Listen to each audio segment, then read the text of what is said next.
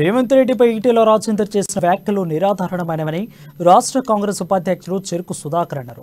నల్గొండ జిల్లా కేంద్రంలో ఆయన మీడియాతో మాట్లాడుతూ మునుగోడు ఎన్నికల్లో రేవంత్ రెడ్డి ఇరవై ఐదు కోట్లు బీఆర్ఎస్ పార్టీ నుండి తీసుకున్నాడని ఈటెల రాజేందర్ చేసిన వ్యాఖ్యలు ఉపసంహరించుకోవాలని డిమాండ్ చేశారు.